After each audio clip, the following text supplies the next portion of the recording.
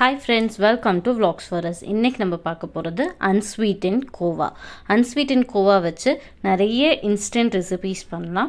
அதுக்கு அன்ஸ்வீட் இன் கோவா பண்ணுறது is very very easy கடைங்களில் அன்ஸ்வீட் இன் கோவா கிடைக்குது. ஆனால் நிறைய இடங்களில் கிடைக்கிறது கிடையாது. ஸோ அதனால் இன்றைக்கி unsweetened கோவா ரொம்ப ஈஸி ஸ்டெப்ஸில் எப்படி பண்ணுறதுன்னு பார்க்கலாம். அதுக்கு ஃபர்ஸ்ட் கடாயை வே காய வச்சதுக்கப்புறம் ரெண்டு டேபிள் ஸ்பூன் கீ போட்டுக்கோங்க. ஸோ அந்த கீ கொஞ்சம் மெல்ட் ஆன உடனே நம்ம அதில் ஹாஃப் கப் மில்க் ஆட் பண்ணணும். ஸோ ஹாஃப் கப் பாஸ்டரைஸ்டு மில்க்னால் அப்படியே ஆட் பண்ணிக்கலாம். இல்லை வெண்டாட்டு வந்து வாங்கினீங்க அப்படின்னா காய்ச்சின பாலை யூஸ் பண்ணிக்கோங்க.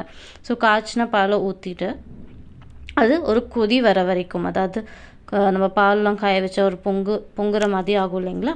ஸோ அது வரைக்கும் அது கொஞ்ச நேரம் காயட்டும். ஒன்ஸ் அந்த பொங்க மாதிரி வந்து கொதி வந்துருச்சு அப்படின்னா அதில் நம்ம ஒரு கப் மில்க் பவுடர் கொஞ்சம் கொஞ்சமாக ஆட் பண்ணணும். மில்க் பவுடர் வந்துட்டு கட்டி கட்டாமல் கொஞ்சம் கொஞ்சமாக பேச்சஸாக ஆட் பண்ணிவிட்டு நீங்கள் வந்து மிக்ஸ் பண்ணி கொடுக்கணும். இது ஒன்ஸ் பால் கொதிச்சிருச்சு அப்படின்னாவே சிம்மில் வச்சுக்கோங்க. லோ ஃப்ளேமில் வச்சுட்டு கொஞ்சம் கொஞ்சமாக ஆட் பண்ணி ஃபர்ஸ்ட் ஆட் பண்ண மில்க் பவுடரும் பாலும் மிக்ஸ் ஆகி எந்த கட்டியும் இல்லை அப்படிங்கிற மாதிரி மிக்ஸ் பண்ணி முடிச்சதுக்கப்புறமா அடுத்த பேட்ச் ஆட் பண்ணுங்கள் ஸோ ஒவ்வொரு பேட்சும் ஆட் பண்ணும்போது முன்னத்த பேட்சோட லம்ஸ் எல்லாமே நீங்கள் கிளியர் பண்ணிட்டீங்களாங்கிறத பார்த்துக்கோங்க ஏன்னா ஒன்ஸ் லம்ஸ் ஃபார்ம் ஆகிடுச்சு அப்படின்னா நமக்கு கடையில் கிடைக்கிற மாதிரி நல்லா ஸ்மூத் டெக்ஸ்சரில் கோவா கிடைக்காது.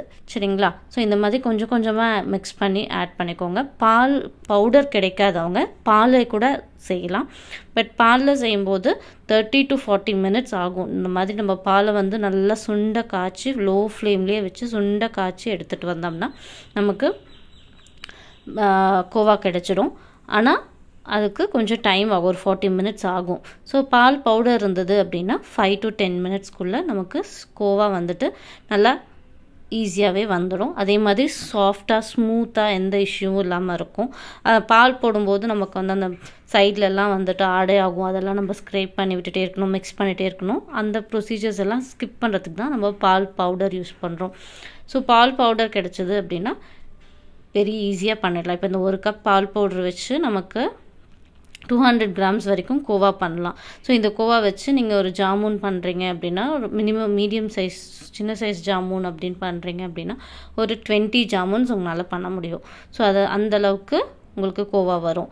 அதனால் நீங்கள் பால் பவுடர் யூஸ் பண்ணி கோவா பண்ணுறது இஸ் வெரி ஈஸி ஸோ ஒரு இந்த நல்லா வந்துட்டு அடுப்பில் பாட்டமில் ஒட்டாத அளவுக்கு கோவா வரணும். ஸோ நீங்கள் சுற்றும் போது அப்படியே அது ஷேப் மெயின்டைன் ஆகணும்.